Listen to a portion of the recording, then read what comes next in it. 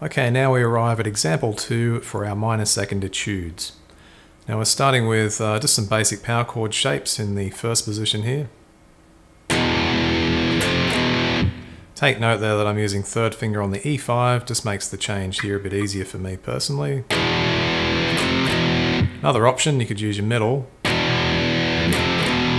but uh, I just find that's a bit more work to do that, although you might like that. We're then progressing up into some inverted shapes, 7th position to 8th. So we're really emphasizing this interval.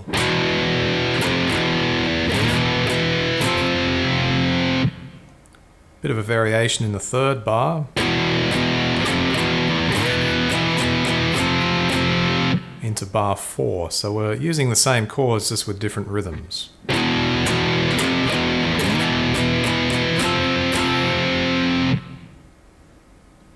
Bars 5 and 6 are the same as bars 1 and 2. We're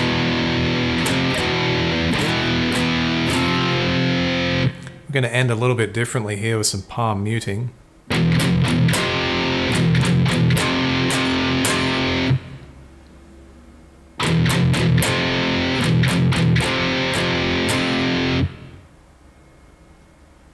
So here's this section at uh, pretty much the same tempo since we're pretty slow anyway.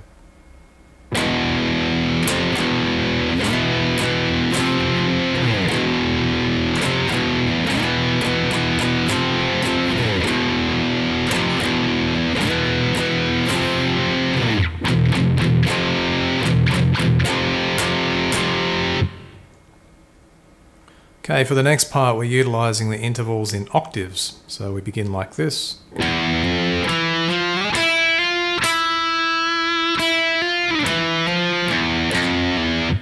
And we simply move that type of idea up into the next lot of octaves.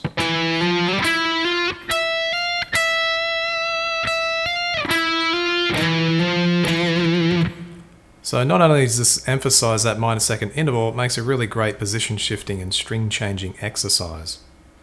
Let's have a listen to that as a whole.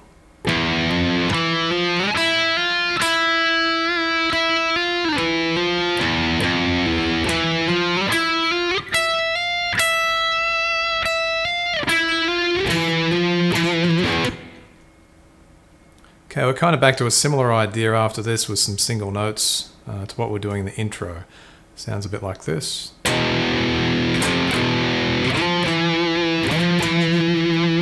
Point of this is really just to emphasize that position shifting of the intervals again. So that's the same note, just different strings. In fact, it's the same octave and same note. Okay, we start like we did to begin with.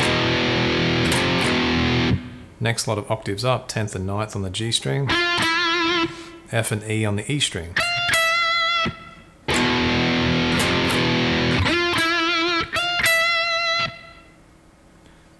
Another power chord idea.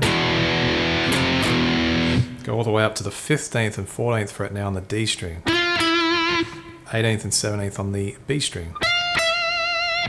Before finishing with an open E power chord. And then this really wicked high bend up at the 22nd fret. Now in the transcription, Guitar Pro 6 is a bit limited in this regard. I wasn't able to notate the repicking of it, but it is there in text. So we bend up.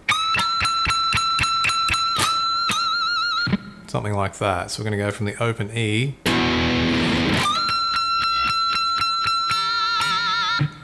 That sounded a bit chaotic. I was clipping the B string there. We'll do that again.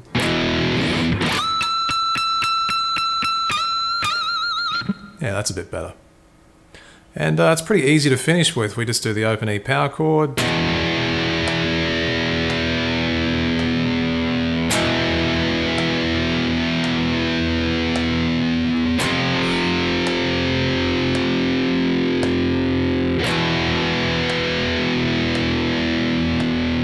Got the F power chord there and the E power chord.